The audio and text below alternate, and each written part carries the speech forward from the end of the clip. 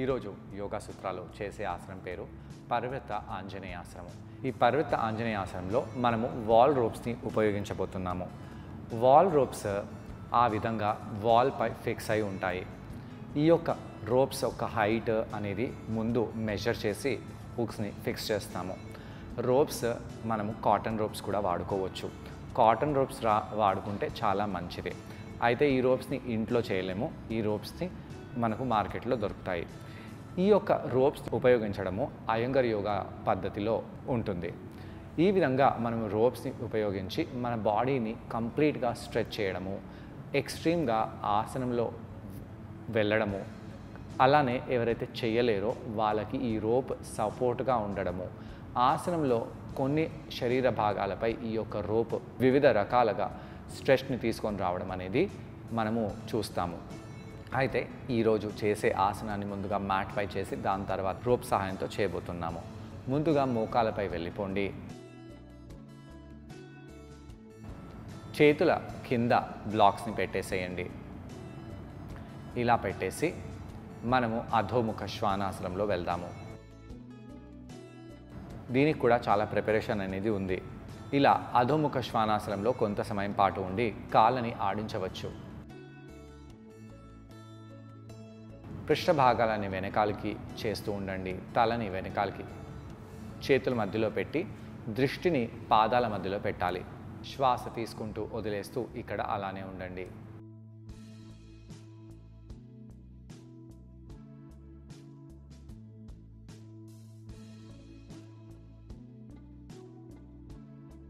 ఇలా చేసి నెమ్మదిగా మన మోకాలని కింద పెట్టేసి కుడి పాదాన్ని చేతుల మధ్యలో పెట్టాలి. అలా పెట్టి మనము పృష్ఠ భాగాలని ముందుకు చేస్తూ తొడలలో ఎలా అనిపిస్తుందో గమనించాలి.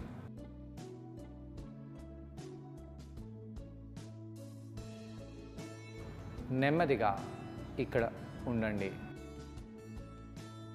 శ్వాస తీసుకుంటూ వదిలేస్తూ ఎలా అనిపిస్తుందో గమనిస్తూ.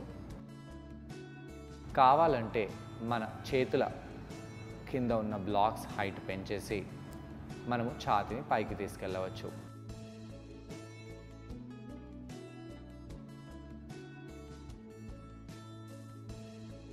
అలా చేస్తూ మనము ఇంకా పైకి రావచ్చు. ఇంకొంచెం పైకి రావచ్చు.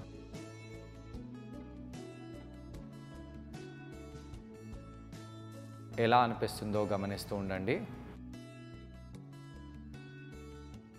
ఇక కుడి చేతిని వెనకాల వైపు తీసుకెళ్ళాలి. చాలామంది వ్యక్తులు కుడి చేతిని ఆకాశం వైపు తీసుకెళ్తారు. అలా చేయకుండా వెనకాల వైపు తీసుకెళ్ళినట్టు అయితే ఇక్కడ ఛాతీలో మంచి ఓపెనింగ్ అనేది ఉంటుంది. ఆ కుడి చేతి వేళ్ళని ఫర్మ్గా పెట్టాలి. ఇలా చేసిన తర్వాత నెమ్మదిగా ఆ కుడి చేతిని కింద పెట్టేసేయండి.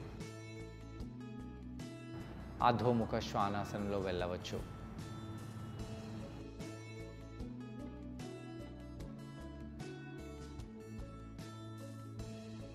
ఎడమ పాదాన్ని ముందుకు తీసుకొచ్చేయాలి.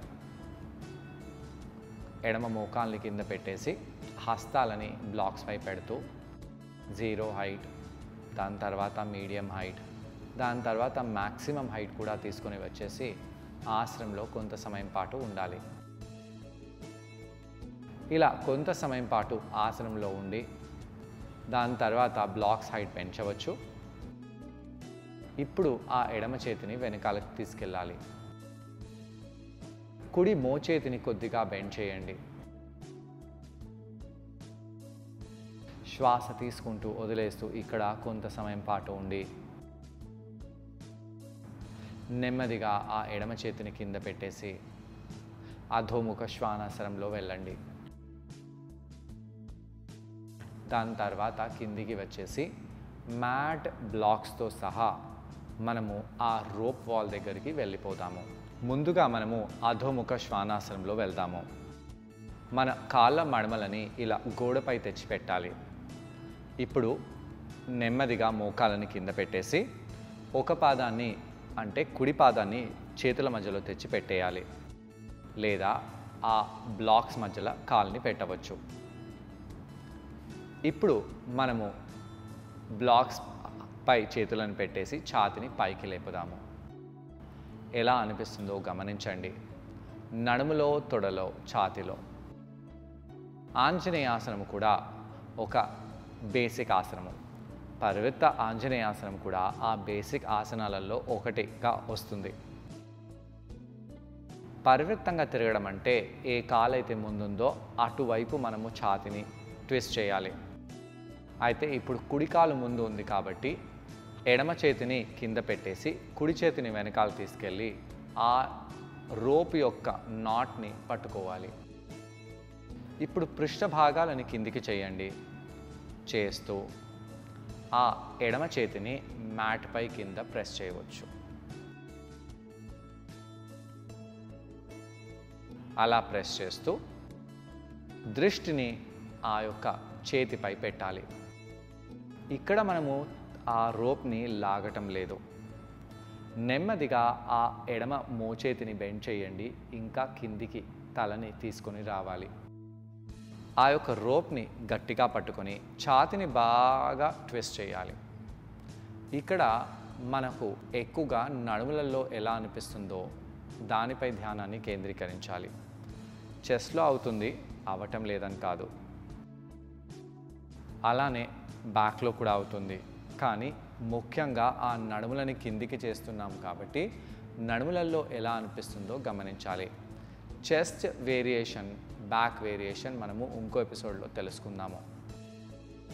ఇక్కడ పొట్టని బిగించి ఈ యొక్క వర్షన్ చేసి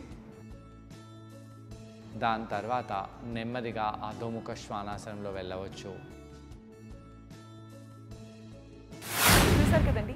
ఈ ఆసనం పేరు పరివృత ఆంజనేయ ఆసనం. ఈ ఆసనాన్ని మనం రోప్ సహాయంతో చేసాం ఈ ఆసనం చేయడం వలన ఛాతి భాగం బాగా ఎక్స్పాండ్ అవుతుంది. అలాగే తొడ భాగంలో ఉన్న కండరాలు బాగా స్ట్రెచ్ అవుతాయి. స్పెషల్గా చేతుల కండరాలు భుజాల కండరాలకు ఈ ఆసనం చాలా బెనిఫిషియల్గా ఉంటుంది.